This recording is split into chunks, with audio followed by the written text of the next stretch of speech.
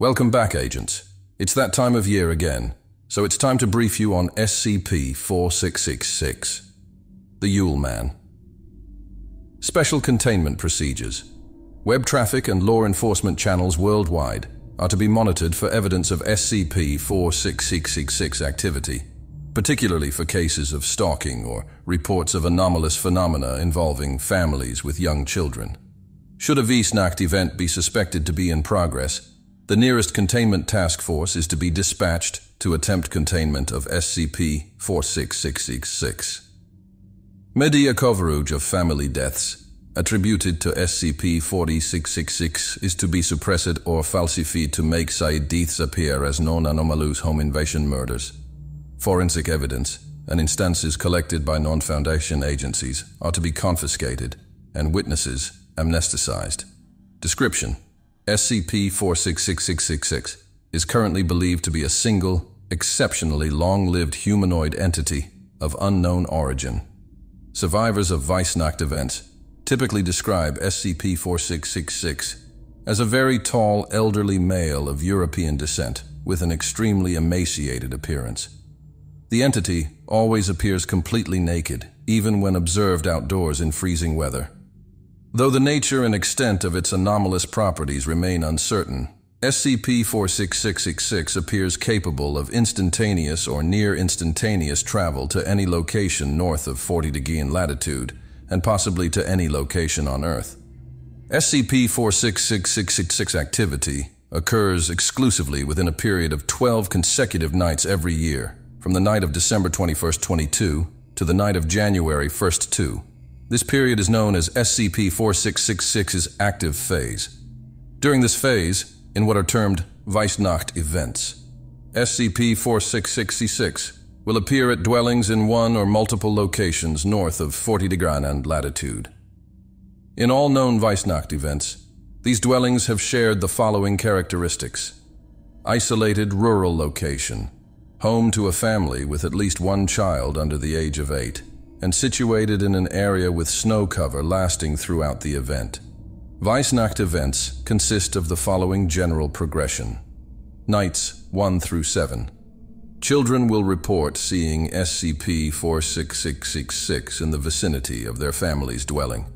The entity will typically be observed watching the dwelling from a distance, such as from across a nearby field or from the edge of a neighboring forest.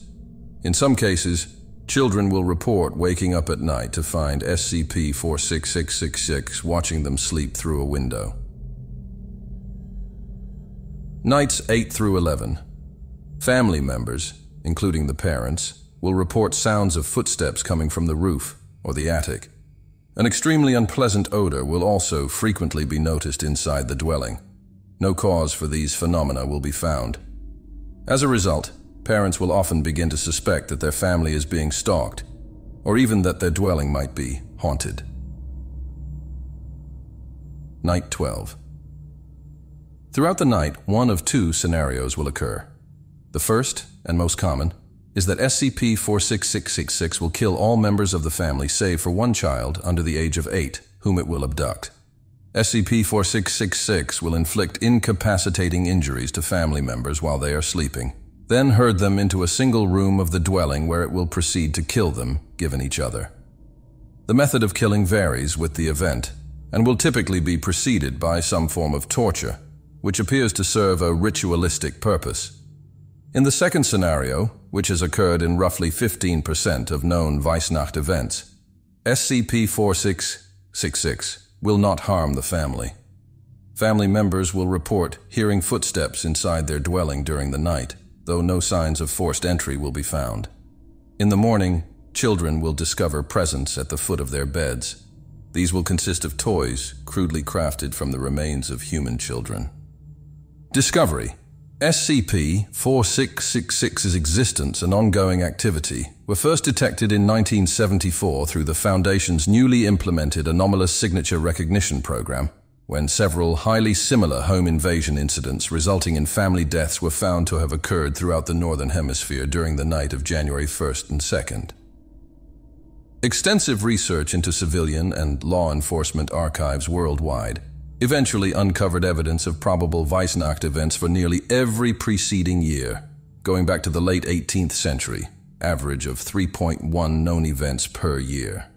Numerous historical documents were also found that appear to describe SCP-4666 activity occurring before this period, in some cases as early as the 2nd century AD in Europe and Russia, and as early as the 1st century BC in Scandinavia. Fingerprints belonging to the same humanoid entity have been discovered at the locations of all Foundation investigated Weihnacht events, these have been matched to a partial fingerprint found preserved in dried blood on a recovered SCP-4666A instance dating from 1873. The fingerprints present characteristics not known to occur in human beings. Human-like white hairs were also recovered from the locations of several Weihnacht events, though no DNA, human or otherwise, could be extracted from them. On 02 2018, Several SCP-4666A instances were discovered at a family's residence in Hoonah, Alaska, following the conclusion of a Weihnacht event. Among these instances was a crude, life-sized doll made from the emaciated body of a female child, to which the following modifications had been made. A dress made from various pieces of dirty, discolored clothing had been sewn around the body and, in several places, into the body's skin. The mouth had been sewn shut with thread made from human tendons, and the lips painted red with a solution consisting primarily of human blood. The fingernails of another child had been glued over the body's fingernails with pine resin. These had been painted red with the same human blood-based solution. Three of the body's fingers were missing. The entire scalp had been removed from the head, and the scalp of another child with long blonde hair sewn onto the head in its place. The hair had been tied into two braids. Both eyes had been removed, and two large round pebbles on which eyes had been crudely painted placed into the empty orbits. Upon examination by the family, the child from whom the doll had been made was found to be still alive, albeit unconscious.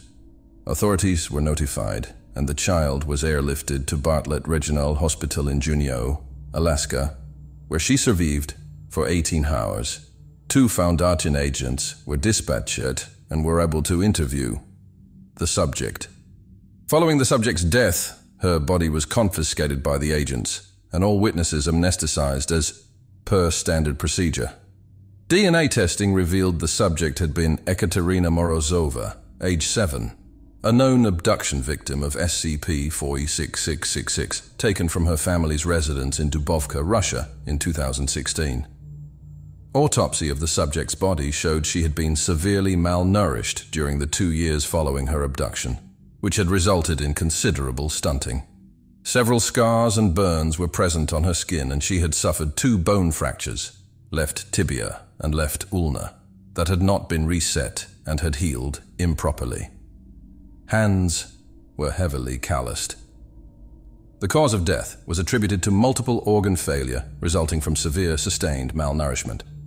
Audio log, location, Bartlett Regional Hospital, Juneau, Alaska. Interviewers, Agent Antony Kowalczyk. Subject, Ekaterina Morozova, female, age 7. Notes, the subject regained consciousness for roughly 30 minutes before expiring, during which she was interviewed. Hospital staff had previously removed the thread that had been sewn into her lips, allowing her to speak. Despite having been administered a morphine drip, the subject was largely coherent throughout the interview. The subject did not understand English, and initially spoke only a language that was unfamiliar to Agents Kowalczyk. However, after several minutes, the subject began addressing the agents in Russian, which he spoke poorly. Agent Kowalczyk, who spoke rudimentary Russian, was able to interview without the need for an interpreter. Hello, I'm Tony. What's your name? Or are you going to take me back to him? No, I promise. I'm just here to talk to you. I don't want to go back. You don't have to. You're safe now, Mishka. Can you tell me what happened to you? Do you remember the night he came to your house? I remember. He hurt Mama and Papa and Katya and Juliana for a long time, and they were bleeding. After they stopped screaming, he put me in his bag. His bag? He had a big bag. Other children were in the bag too. I think we go to other houses. I hear people screaming outside the bag all during the night. Each house he put another child in the bag. Then after the night he'd take us away. Where did he take you? Underground. Mm-hmm. Deep. Underground? You mean in a basement? Deep. Everything earth and mud and ice. Bones everywhere. Everything cold. I can't sleep because it's too cold. Were there lots of other children there with you? Lots of children. Lots of tunnels. Lots of holes. But I can't see all. I can't see the other. Too dark. My hole is with Renee and Hecla and Sasha and Paul. We make the toys together. The toys? If you don't make the toys, you don't eat. Don't stop making the toys. Don't fall asleep. Or he hurt you. Does he hurt you? How? He hit you. Or he burns you. Or he bites off your fingers. Or he cooks you on the fire in his room and eats you. He ate Philippe and Sally. What about you? How did this happen to you? Did he do this? Renee and Hecla and Sasha and Paul do this. They have to. Why? I get sick. When you can't make the toys, you become the toys.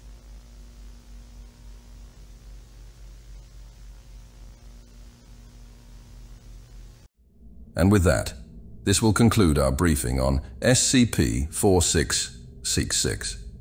Be sure to report any signs of a Weihnacht event to a senior staff member, and be sure to like and share this video with your fellow researchers to spread the word about this anomaly. Don't forget to subscribe and turn notifications on so that you don't miss our future briefings.